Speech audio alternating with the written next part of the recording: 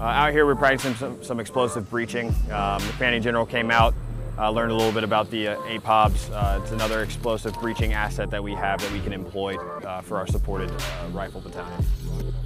Right, right, right. The overall objective is for one, for our Marines to get another rep at um, executing explosive breach, especially with um, the APOBS. It's not something we get to shoot very often, uh, but it's a huge capability that we can bring to the table. Um, and then also, so the commanding general can get some situational awareness on what it does, what its capabilities and limitations are, and then how we can employ it in the future.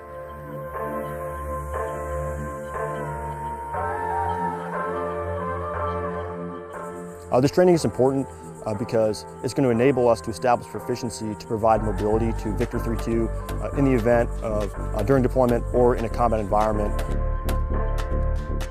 So this system makes 2nd Marine Division more lethal and capable because it's going to provide us well, with 1,750 pounds of C4 to clear a 100 meter lane through an enemy obstacle group, uh, whether that's anti-tank mines, anti-personnel mines, so that motorized and mechanized assets of the division can move through to the objective uh, to ultimately uh, assault the enemy.